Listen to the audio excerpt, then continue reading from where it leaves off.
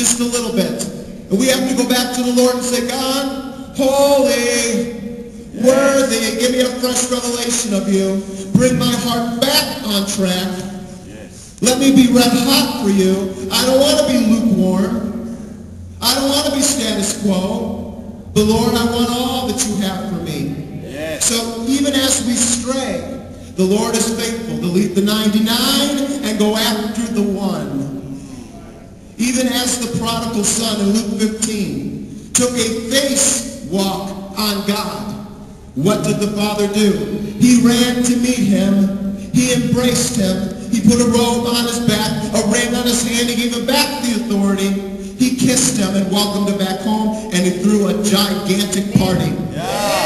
Amen. Because God celebrates one person whose heart and life has drifted away and they've come back on track. He celebrates that person because he desires, through the way that he created, through the cross, that you would have a knowing of who he is. That it would take over your life, that you would say, as Paul, I may know him. Amen. Not mere information. We need to be informed about God. We need to study to show ourselves approved. But there's nothing like being well acquainted with him, not just having information about him.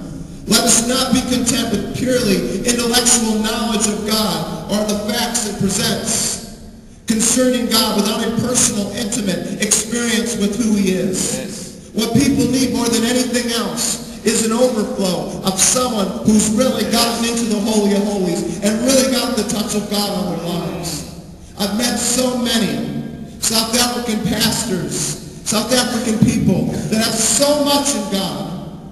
I've been so blessed when I came to your country last October.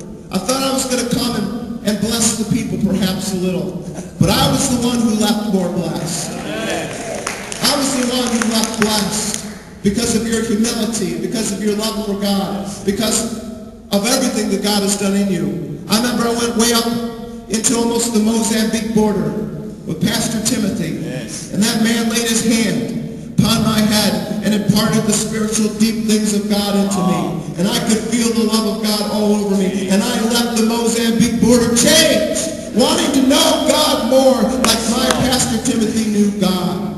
You see, we all have something to share with each other.